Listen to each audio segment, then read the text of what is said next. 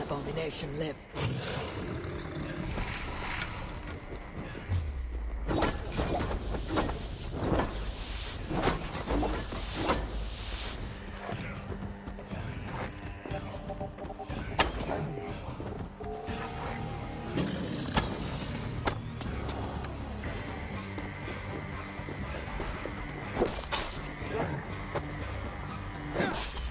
Yeah.